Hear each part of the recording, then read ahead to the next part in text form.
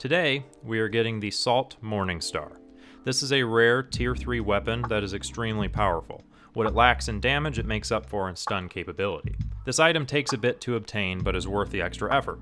So, how do you get it? This is RCSU. If you like any of the things listed on the screen, please subscribe.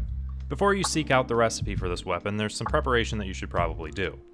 My recommendation would be to go to the sandbox, get on the edge, whether by building up to it or riding the zip line from the picnic table, and kill some antlions to get the antlion armor. This is useful as you'll be able to spend more time in the sandbox. Perks of having the whole set are a severely slowed rate of the sizzling effect.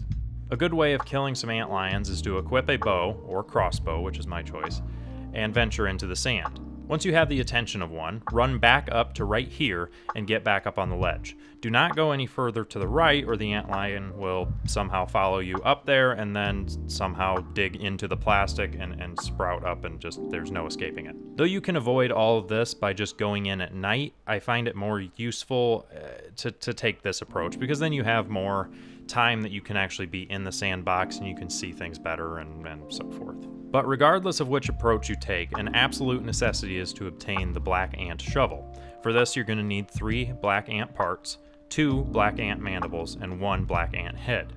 These can be obtained by going into the black ant hill, which we did talk about in my video on how to get the oven and its recipes. After you have the shovel and have obtained antlion armor, or if you just elected to do this at night, you will find the recipe in the underwater chest in back of the sandcastle, in the moat. This chest is locked though and requires a key. The key can be found around the yellow shovel that is sticking out of the middle section of the sandbox. Be careful to avoid burrowed antlions while messing around over here. You will be able to find the key most easily at the time 1520 in game, in the center of the shadow of the shovel handle.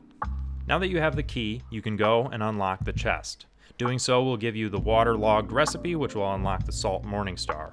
In here, you'll also find a milk molar. After you have the recipe, you just need the following to craft it. You need two salt globs, one gum nugget, and three sickly roly-poly parts. Salt globs can be found abundantly in antlion burrows, and if you don't have the recipe for those, you can find them in this video that I've done. Gum is found by harvesting gum like deposits and chewed up gum stuck places, and it's located at various locations uh, throughout the map, one of which is underneath the picnic table. Sickly roly-poly parts can be collected by killing roly-polies, and they're located over near the picnic table and the sandbox area. Well, that is all that I have for you. I hope that you can quickly find and begin using this weapon. For more informational videos, random moment gameplay, chilled live streams, and other variety content, please subscribe or check back in a bit. Peace.